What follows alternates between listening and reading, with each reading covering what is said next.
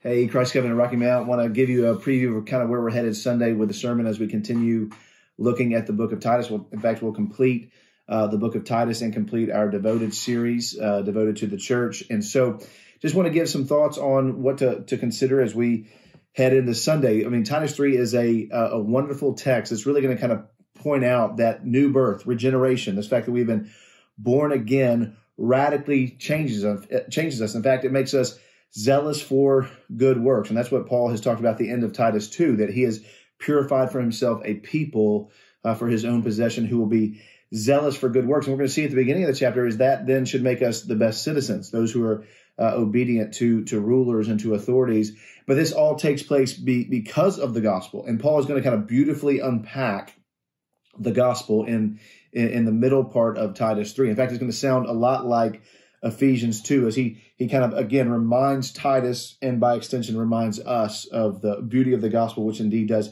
change us makes us uh, those who can be the best citizens and then he's going to end the chapter saying that the gospel not only radically changes us in order to be the best citizens to live well in the culture but it also changes us to live well uh, in, in the church, to, to live well for one another, for the good of one another. And so he's going to unpack in Titus chapter 3 that the gospel changes us in order to make us those who live well in the culture and those who live well in the church. And so, uh, again, beautiful text, uh, chapter. Read through it, uh, consider it, write down questions, think about uh, what the Lord is trying to teach you, what the Lord is trying to produce in you through this chapter, and then what the Lord is trying to make you through the both the reading of this and then uh, certainly as we unpack it Sunday in the sermon. So, look forward to seeing you. I hope you're doing well this week, and uh, we'll unpack Titus 3 on Sunday.